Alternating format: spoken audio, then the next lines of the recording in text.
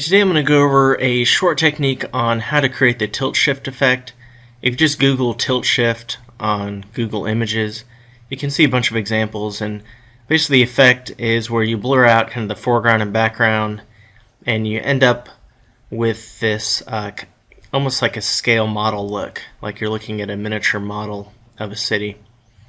Um, a lot of people go to say a sporting event, an aerial view of a Wimbledon match, or uh, Thanksgiving Day parade in New York City if you're shooting from a window, um, taking a photo of you know the parade on the street, or if you uh, maybe a beach scene, as long as it's uh, something from kind of above, like a window, or somewhere where you're uh, you have a lot of people, um, or you know objects like a bunch of cars or some kind of scene from above works best for these kind of shots. So uh, these two are covered under Creative Commons. I'm going to link to the original file and the credit attribution on the website you can see in the description below here on YouTube.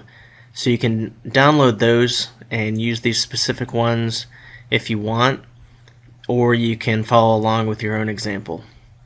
First thing you want to do is press Q on the keyboard.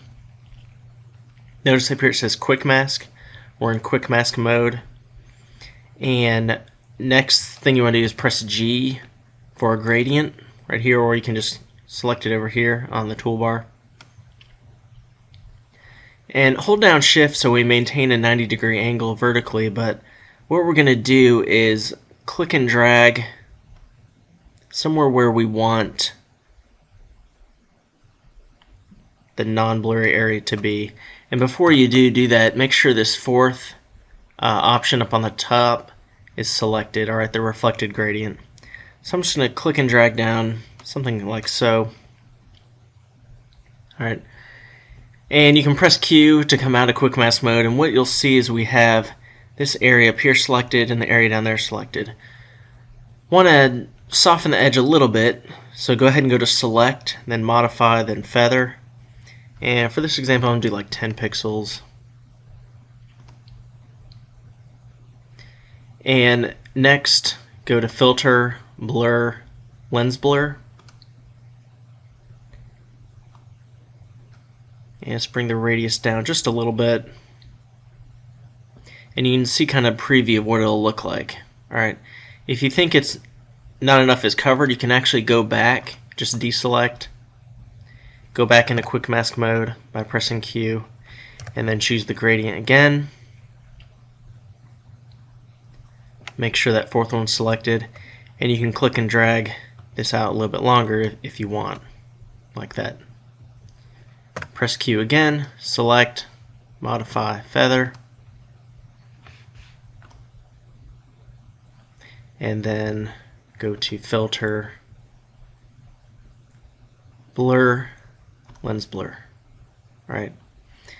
And you can, with the higher resolution file, you can do the radius maybe a little bit larger. Um, not necessarily with all of them, but depending on your photo. If you do it too much, it's too much of a contrast. And if you do it too little, there's really not any blur at all. So uh, I think for this example, 14 probably works. Click OK.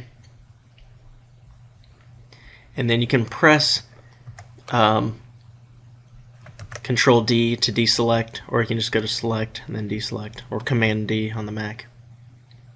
Alright, and a couple more touches here. If we go to Image, Adjustments, Hue Saturation, bring the saturation a little bit up, and you can make sure Preview select, and you can preview it.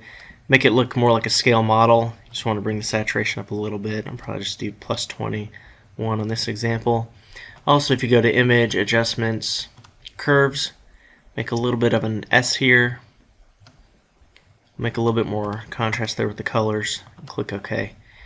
And there we go. We have the tilt shift effect. Alright almost looks like a little model. There. So here's another example really quick. Press Q. We're in quick mask mode. Press G. Make sure this fourth one is selected up on the top. I'm going to hold shift click and drag and then select, or actually, I'm sorry, press Q to get out of quick mask mode. It makes this a selection. Then go to select, modify, feather. I'm just going to do 5 pixel this time, see the difference. And then go to filter, blur, lens blur, and the radius. I bring it down to 10 on this example. It's okay.